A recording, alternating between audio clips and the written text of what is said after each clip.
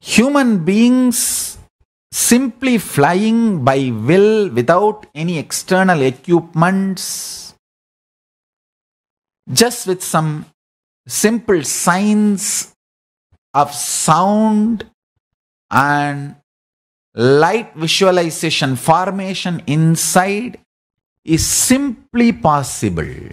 Understand, I am not lying or proposing something which I do not know.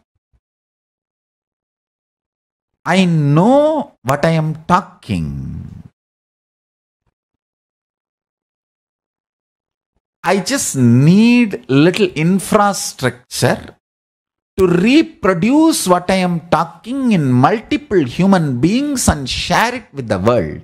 Till then, I need little political freedom and protection and asylum where I am not disturbed in this whole action of reproducing these conscious powers and possibilities and principles.